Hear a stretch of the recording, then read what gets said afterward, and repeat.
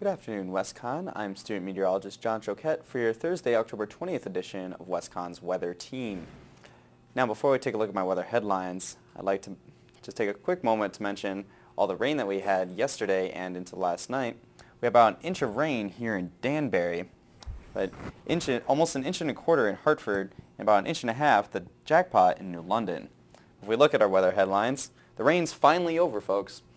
We have a nice weekend in store, which means homecoming is looking great. Currently in Danbury, if we look at the campus cam, we have variable cloudiness over Midtown campus.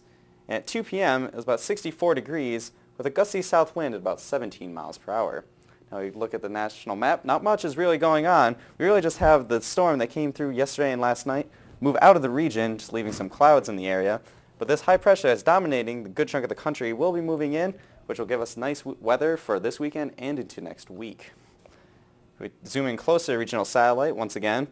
The storm is basically moving out, out off to our north and to our east, leaving just some lingering clouds here in Connecticut.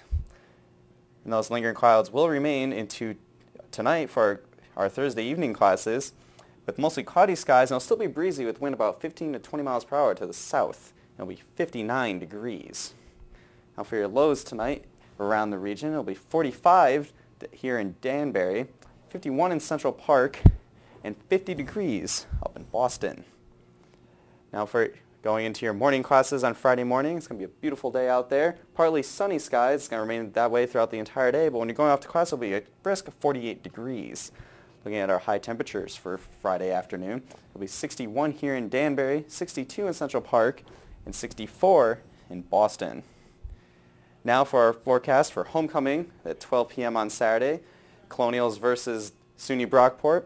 It'll be 57 degrees and mostly sunny. It's going to be mostly sunny all day, so all the outdoor activities for homecoming look like it's going to be great. Go out and enjoy. Now if we look at our extended forecast, it's pretty easy forecast, at least on my viewpoint. It's going to be partly sunny and 62 tomorrow, on, and it'll be mostly sunny for the weekend. It highs in the low 60s, and going into next week, more of the same, partly sunny, with highs once again in the low 60s. Be sure to check us out on wcsu.edu slash weather.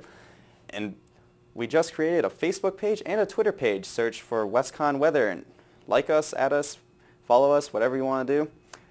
Tune in tonight at 8 p.m. for student meteorologist Chris Stiles. I'm student meteorologist John Choquette. Have a great afternoon.